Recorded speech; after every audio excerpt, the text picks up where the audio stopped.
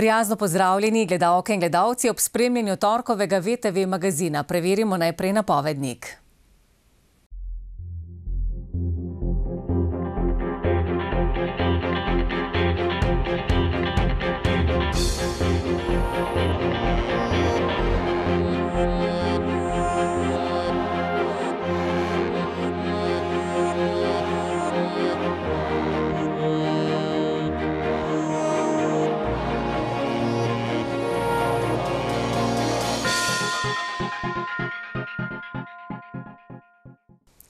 Občina Dravograd ima spred proračun za letošnje leto. Potrjen je bil na zadnji seji občinskega sveta. Težak je dobrih 17 milijonov evrov. Svetniki so obravnavali 15 točk. Najprej je bilo na dnevnem redu sprejetje nove cene storitve pomoč na domu, ki jo že vrsto let izvaja Koroški dom starostnikov Črneče Dravograd. Storitev je seveda zelo zaželjena pri vseh, ki takšno storitev potrebujejo. Vemo, da smo družba, ki se stara in nekako je tudi, bom rekel, cilj države, da se seveda takšna oblika pomoči ponuja.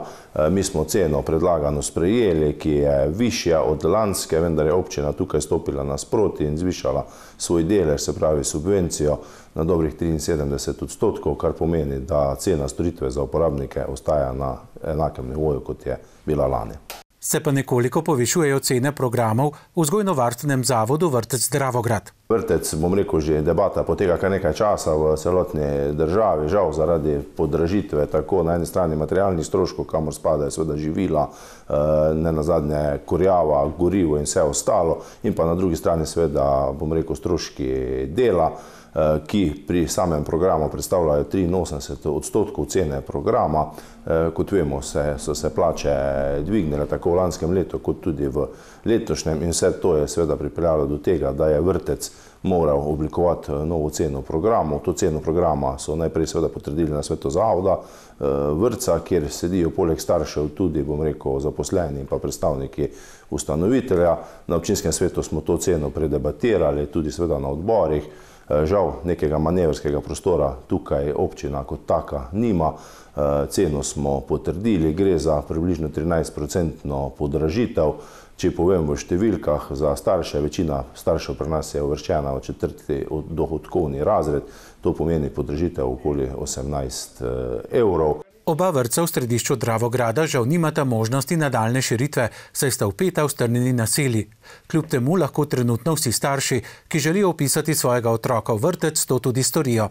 Trenutno imamo še nekaj prostih mest, vendar se to seveda iz meseca v mesec spreminja. Vrtec Šentjanž, Dravograd in pa seveda v podružničnih, bom rekel, šolah delujejo dobro in v planu imamo tudi seveda izgradnjo novega vrtca v Dravogradu, ampak to je seveda stvar projekta, ki se bo odvijal v prihodnosti. Tudi mladim v Dravogradu posvečajo vedno več pozornosti. Na seji je bil sprejet lokalni program za mladino za obdobje 2023-2028. Vesel sem, da so mladi sami pripravili ta program, pri tem je seveda sodeloval naš mladinski center skupaj z društvi in pa z mladino iz vseh krajevnih skupnosti. Program je bil dodobra predstavljen najprej na komisiji za mlade, ki ga je seveda potrdil in nato tudi na občinskem svetu. Tudi finančno je občina tukaj stopila nasproti, mi namenjamo 112 procentov več sredstev kot v letu 2022. Lahko povem, da sem izredno zadovoljen z delovanjem mladinskega centra, ker je resnično, bom rekel, se spremenil v nek center, kjer se odvijajo razno razni projekti, da so si pridobili tudi znatna evropska sredstva iz tako imenovanega norveškega sklada, da bomo letos zaposlili eno mlado osebo ravno za ta namen, da se izobrazi za prijavo na te razno razne razpise in da se potem seveda v nadaljevanju tudi zaposli ali v naši občini oziroma v lokalni skupnosti, tako da jaz verjamem, da z roko v roki bomo seveda delali zelo, zelo dobro tudi naprej. Da bodo ljudje v še boljši kondiciji, je bil obravnavan letni program športa, ki je bil pripravljen v sodelovanju s Športno zvezo Dravograd. Z njim nekako finančno prehajamo na tisto obdobje izpred korone, kar pomeni približno 30-procentni dvig napram letu 2022. Več sredstev smo namenili tudi športu invalidov, tako da tudi na tem področju, bom rekel, stopamo naproti in z vso športno infrastrukturo, ki jo imamo, verjamem, da bomo se vsi seveda uspešno ukvarjali s športom in se, bom rekel, tudi na ta način nekako ohranjali svoje zdravje. Povečuje se tudi enkratna denarna pomoč za novorojence. Bistvo spremembe je seveda v povečanju sredstev, ki jih namenjamo za vsakega novorojenca v naši občini. Eh, iz 200 evrov smo sedaj prišli na 250 evrov, kar mislim, da je eh, neka eh, zlata sredina v Koroški regiji in verjamem, da bo to tudi dobrodošlo seveda vsem novo pečenim staršem naše občine. Najpomembnejša točka na seji je bila sprejetje letošnjega proračuna. Proračun v prvem branju je bil potrjen v sami javni obravnavi, do drugega branja nekih bistvenih sprememb več. Eh, ni bilo, to pomeni seveda, da je proračun bil nekako zelo dobro pripravljen, tudi predstavljen, bom rekel, javnosti in pa seveda eh, vsem, ki delujejo v občinskem eh, svetu. Zdaj sam proračun je v višini dobrih 17 milijonov evrov, je višji kot v letu 2022, predvsem na račun izvajanja evropskih projektov, to je izgradnja kanalizacije v aglomeraciji Vič, kakor tudi izgradnja poslovne cone v Utiškem vrhu in pa več manjših projektov. Eh, glavnina proračuna seveda letos usmerjena v zaključenje projektov, ki se že izvajajo, ki sem jih eh, ravno kar naštel, in pa seveda za izdelavo projektne dokumentacije za projekte, s katerimi bomo se seveda začeli prijavljati novo evropsko finančno perspektivo. Nova prenovljena medijska podoba vključuje še novo maskoto Dargija, ki bo prisoten na vseh večjih dogodkih občine Dravograd. V četrtek je v Velenju zasedal medobčinski otroški parlament. Letošnja tema je bila duševno zdravje otrok in mladih. Na medobčinskem otroškem parlamentu se je v sejni dvorani mestne občine Velenje zbralo 72 mladih parlamentarcev. Otroški parlament je pravzaprav program, ki teče že od leta 1990 preko Zveze prijateljev mladine Slovenije. Je zelo edinstven program, nikjer v Evropi ne poznajo kaj podobnega, kajti na otroškem parlamentu so glavni mladi in otroci. Oni o temi, ki jo sami izberejo, na glas povedo, kaj mislijo, kaj si želijo in to sporočijo odraslim. Uh, tako da tudi v Šaleški dolini že 33 let tečejo otroški parlamenti uh, po zaslugi Zveze prijateljev medobčinske zveze prijateljev mladine eh, Velenje.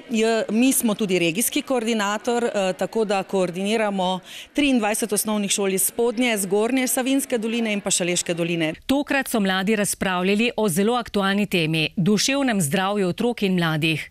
V času po svetovni pandemiji se namreč vse več otrok in mladostnikov srečuje s stiskami.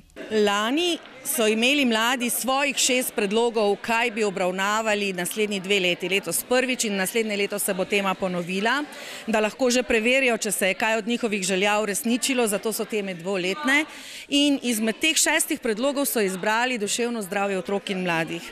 Nas to ni presenetilo, kajti po koroni smo opažali, da imajo mladi izjemno velike stiske, da so bili preveč sami, da se ne znajo več družiti, da nimajo več volje, da so preveč v vir virtualnem svetu. Eh, to lahko povem tudi zato, ker v Velenju pri naši zvezi deluje skupina svetovalcev Tom Telefona, ki vsak ponedeljek svetuje za celo Slovenijo eh, in tudi sledimo, kaj se dogaja po Sloveniji in stiske otrok so bile veliko hujše kot v prejšnjih letih in desetletjih. Eh, očitno so otroci začutili, da morajo na glas povedati, kaj jih muči in kaj si želijo, da bi jim bilo lažje. Vsako šolo je zastopalo osem mladih parlamentarcev in parlamentark iz devetih šol.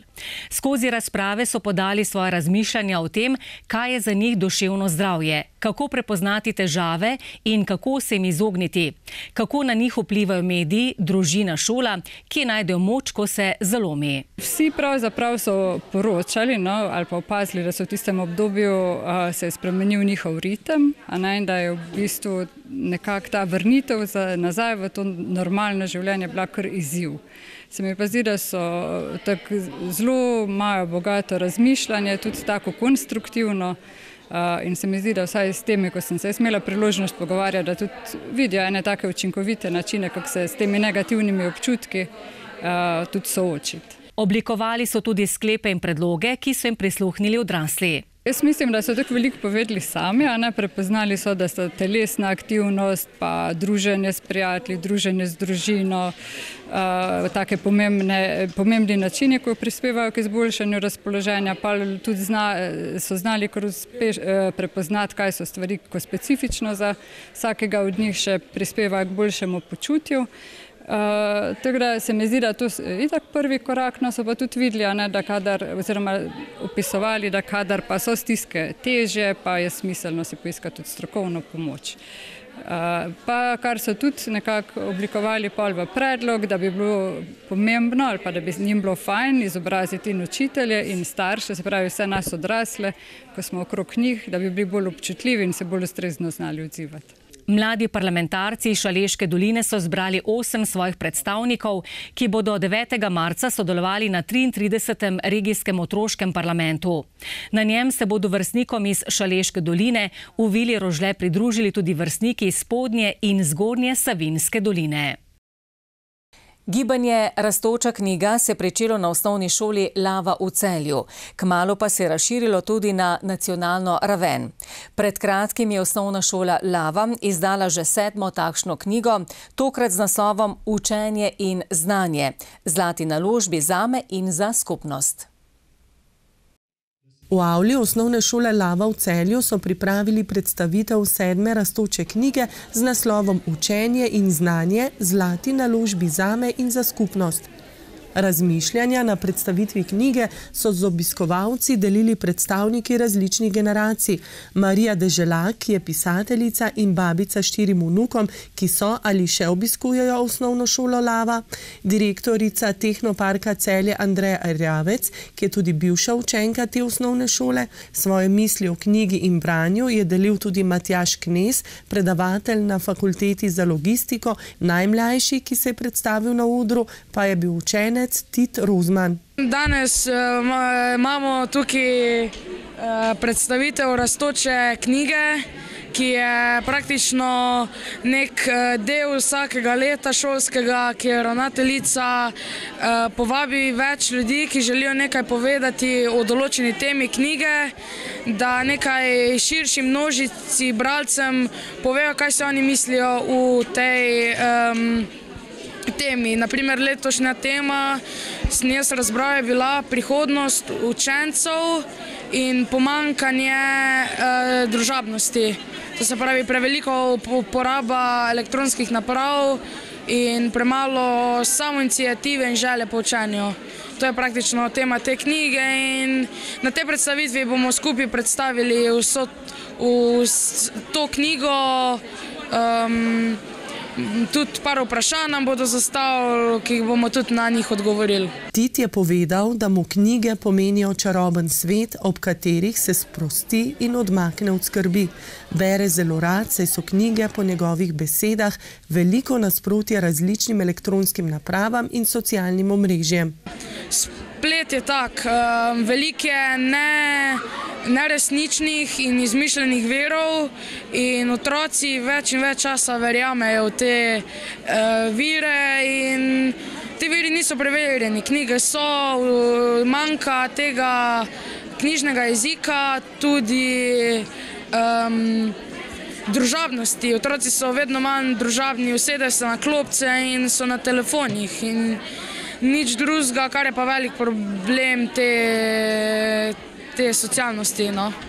Marija Deželak ima štiri vnuke, ki so ali še obiskujejo osnovno šolo Lava. Bere, odkar zna. Bralo in prepevalo se je pri njej doma že v njenem otroštvu in na nočni omarici ima vedno knjige.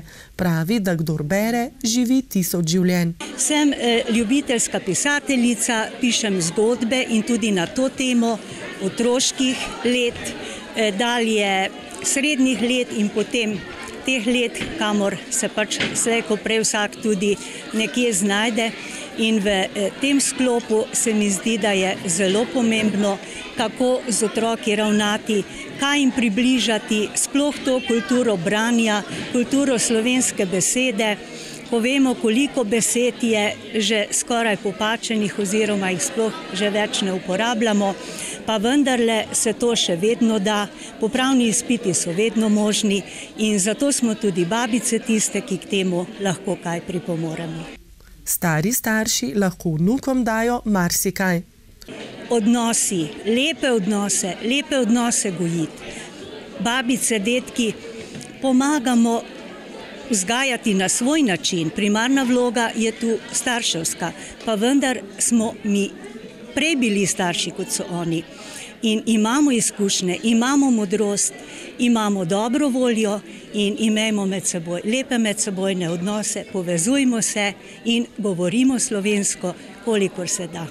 Osnovno šolo Lava obiskujeta tudi otroka Matjaža Kneza, ki je predavatelj na fakulteti za logistiko, na dogodku pa je bil eden izmed povabljenih sogovornikov. Ja, gospa ravnateljica me je povabila, da napišem eno mnenje o uh, učenju, izobraževanju. Namreč tudi sam prihajam iz uh, univerze v Mariboru, z fakultete za logistiko in kot oče, in, ker imam tukaj tudi sina, in pa tudi kot tisti, ki delujem v izobraževalnem sistemu, sem pač skozi svojo percepcijo podal uh, svoje mnenje o izobraževanju in pa tudi povedal, kaj pravzaprav sam z te perspektive v odnosu teh otrok, ki so zdaj v odraščanju podal neko mnenje, napotke, kaj bi jim svetoval, tako kot vidim kot oče in kot tisti, ki delam v izobraževalnem sistemu. Povedal je, da študenti veliko berejo, po knjigah pa rad posega tudi v prostem času. S knjigo se umiri ter lažje in bolje spi. Želi si, da bi mladi večkrat posegli po knjigah. E, dnevno ukvarjamo s tem, kako otroke usmerjati na nekaj pravemu cilju. E, kot starš ugotavljam, da je naš kurikulum zelo, zelo poln, preobsežen. Na drugi strani se pa tudi zavedam, da vsako znanje je dragoceno, vse učne snovi so dragocene, nek način jih je treba nekako predati otrokom. Tako da tehtam, tako, tako težko je no, v teh časih, v kompleksnih časih. Ravno zdaj prebiram eno knjigo, zakaj danes v dobi hiperspecializacije uh, nekako zmagujejo raznovrstneže. Ne? In nekako to misel skušam podati tudi svojim otrokom, ampak tisti, ki jih izobražujem, da več stvari, ki v življenju, ki jih počneš, uh, več stvari nosi sabo tudi v svojem nahrbtniku, ki ga imaš vedno sabo in takrat, kadar se znajdeš v kakšni situaciji in če imaš kakšno veščino v svojem nahrbtniku, potem se tudi lažje znajdeš, spremni strategijo oziroma dosežeš svoj cilj. Prireditev ob izdaji knjige so z nastopi popestrili učenci osnovne šole Lava.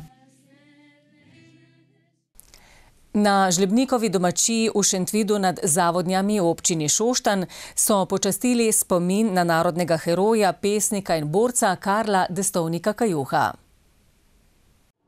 Spominske slovesnosti so se udeležili praporščaki, konjenica, pohodniki in številni gostje. Eh, Kajuhov pohod eh, s slovesnostjo je tradicionalni dogodek, pri katerem sodelujemo tudi članice in člani Mladega foruma Šaleške doline. Eh, letos se na tem mestu srečamo že 25-tič, tako da sem vesela, da ohranjamo tradicijo.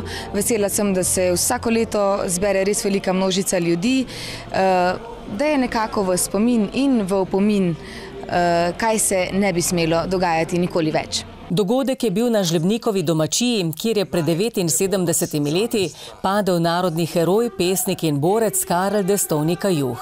Danes pomeni ta prireditev nekaj čisto posebnega. Res, da smo v lanskem letu praznovali 100. obletnico Kajuhovega rojstva, letos pa na pobudo našo Ministrstvo za kulturo potem vladi Republike Slovenije praznujemo tudi Kajuhovo leto 2023 in zaradi tega sem še posebej ponosna, vesela, predvsem pa vesela, da je Kajuh tukaj v naših krajih, nam v srcu doma, zaradi njegovega upora, zaradi upozarjanja na družbene različnosti, na krivičnosti, predvsem pa zaradi tega, ker je imel res rad ljudi, narod, jezik in danes se mu bomo poklonili njemu in vsem borcem in borkam 14. divizije. Če rečem čistek osebno, uh, moja rojstna hiša je v Šoštanju stala poleg spomenika talcem, kjer je bilo streljenih kar nekaj talcev. In eh, kajuha smo od vsega od rojstva pravzaprav imeli nekako v srcu, hodila sem na, tudi na Kajuhovo osnovno šolo, tako da smo prebirali njegove pesmi in nekako jih imamo položene v zibelko. Seveda na eni strani bi izpostavila njegove pesmi, ki pozivajo k uporu, k borbi, k krivičnosti, k borbi temu, da je na eni strani nekdo, ki je tako reven, da ne more preživeti iz dneva v dan, na drugi strani pa tisti, ki se bogatijo na račun revnih. Potem upozarjal je na narodno-osvobodilni boj, na partizanstvo, na to, da je prišel Hitler z svojo ekipo, z okupatorji k nam in nas hotel zbrisati iz slovenskega obličja, tako da se imamo njemu, Kajuhu in njegovim soborkam, soborcem v vseh partizanskih divizijah po Sloveniji zahvaliti, da danes tukaj lahko govorimo in pojemo slovenske pesmi. In ne nazadnje seveda te presunejo tudi njegove ljubezenske pesmi, ki res uh, pove in uh, izraža spoštovanje do žensk, kar meni še zelo veliko pomeni, da ne vidi ženske kot neka bitja lepote, ampak kot tovariše, ki so mu popolnoma enakopravni, predvsem pa izraža ljubezen, ljubezen do sočloveka in ljubezen do naroda. V spomina borca Karla Destonika Kajuha se je skupina prijateljev skupaj z bratoma Kodrun pred 25 leti peš odpravila na Žlebnikovo domačijo, kjer so prebirali Kajuhove pesmi. Prireditve sta se tudi letos odeležile Velenski in Šoštanski župan. Jaz mislim, da za celotno družbo pomenijo ti dogodki zelo veliko. Konec koncev pretekli dogodki, ki so zaznamovali um, na nek način eh, aktualna dogajanja v posameznih obdobjih so eh, oblikovali tudi identiteto naše države in eh, Karl Destovnika Juh je prav gotovo bil eden izmed tistih, ki je že takrat družbi znal dajati vse tisto, kar je v sebi nosil, kar je čutil. Po drugi strani je pa znal tudi poprijeti za orožje in se seveda boriti za svojo domovino. Mislim, da je to primeren zgled tudi v sedanjem času, da se zgledujemo, pa ne zaradi zaradi tega, da bi danes popremljali eh, po orožju, ampak da eh, konec koncev eh, vemo in se zavedamo, da so bili v preteklosti med nami ljudje oziroma ljudje, ki so ustvarili podobo naše dežele in ki so morali veliko, veliko seveda pretrpeti, dati tudi svoje življenja, zato da konec koncev lahko danes se tukaj družimo. Tako da bomo pri tovrstnih dogodkih ustrajali tudi v prihodnje. Naj bo to upomin in spomin seveda na vse žrtve, na Eh, to, da bomo znali spoštovati zgodovino do nje, eh, danes ne soditi toliko, kot ponovadi eh, politika sodi, ampak predvsem ugotavljati, da karkoli se je v preteklosti zgodilo in kjer so bile žrtve, da se to danes naj ne bi več zgodilo. In to naj bo naša naše poslanstvo eh, in ti dogodki naj bodo predvsem simbol eh, vsega tega. Zelo besedo ponos, zato ker smo ponosni na našega rojaka, pesnika, domoljuba, Karla Destovnika Kajuha in Jaz mislim, da je prav, da se tukaj srečujemo, da obeležimo spomin na en, bom rekel, na tem po eni strani tragičnem koncu, kjer je preminul, ampak kljub vsemu sem vesel, da ohranjamo spomin na njega, eh, ker smo na njega tudi v naši občini Šoštan zelo ponosni eh, in absolutno tudi to srečanje pomeni, da da se spominjamo njega in pa vseh ostalih, ki so dali življenje za to, da danes živimo v svobodi, da lahko ustvarjamo, delamo, da lahko živimo in tega se moramo zavedati mi in pa vse generacije, ki bojo prišle za nami. Slavnostni govornik je bil gledališki in filmski igralec Marko Mandič. Kajuh je eh, en velik pesnik, en velik človek in ena velika ptica, ki bdi nad nami. Spominske slovesnosti so se udeležili tudi gostje. Mislim, da taka srečanja so so zelo važna, zato ker to so temeljni ti ljudje, ki so to upravljali, taka stvari, kot je Kajuhvil, to so bili tem, ko so položili temne za to, kar mi danes imamo, a je to svoboda, mir in brez teh bi mi tudi na avstrijskem koroškem ne obstajali več in ne, nas ne bi bilo nikjer več v taki obliki, kot smo danes, da še lahko govorimo svoj jezik, da imamo svoje šole in vse, kar je to, imajo zasluge te ljudi. In sem sin borca 14. divizije, ki je bil udeležen pri tem napadu in je pokopal Karla Destovnega Kajuha. Tu zagredal ga je pokopal moj oče Franz Bavec pa Slovaščan eh, Tone Žnideršič. Moj oče se je tu gore shajal v sobi v prvem nadstropju, se je prebuval v nogavice, kajuh je prišel dol, ki je bil od štaba, je bil jako utrujen in se je šel v oknu in gledal dol po šoštenju, je rekel, tako blizu sem doma in bi rad obiskal svojo mamo, pa ne morem, ne. Potem se je tam naklopil vsev, je puško dal med noge, malo zdremal in takrat je bila že uzbuna, da so napadeni Nemci. On je skočil dole še po snu in ga je moj oče opozoril, da ne se čuva, samo kajuh je šel po stopnice do kuhine in tam je že Nemec bil prišel in, in bil strlen. Kulturni program so pripravili učenci osnovne šole Karla Destovnika Kajuha Šoštan, moški pevski zbor Kajuh pod vodstvom Metke Smirnov in recitatorka Dragica Oderlap. V knjižnici Velenje so pripravili predstavitev sedme knjige zbirke Kajuh 100.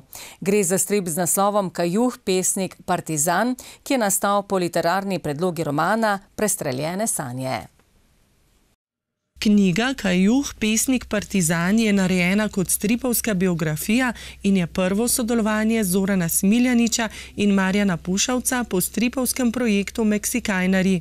Tokrat sta združila moči pri pripovedovanju zgodbe o pesniku in partizanu Karlu Destovniku Kajuhu.